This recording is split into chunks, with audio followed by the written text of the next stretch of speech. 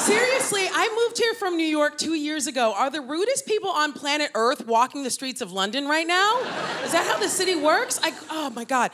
Okay, here's what happens to me regularly in London. I will be walking around the street looking real noticeable, like I have been my whole life, as you can see. And then there'll be another woman on the pavement, on the same plane of pavement as me, right? She normally looks like this in comparison to me.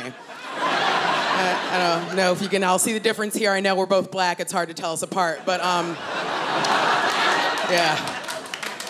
I'm the fat one over here. So she's coming at me, and it's a city, you know, it's gotta work like a machine, right? Like I move a little to the right, she moves a little to the right, we go on about our lives. But what always happens is I move a little to the right, she moves not one goddamn inch and does this shit right like through me, like I was gonna defy the properties of physics for this bitch.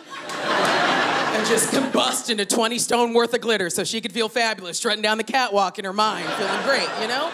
So I figured out what to do. I wanna share it with the world right now, okay? Because it's gonna work. So when that woman walks into you, walks through you as though you don't exist and says nothing as she passes, just whisper a little bit louder than you should fat bitch.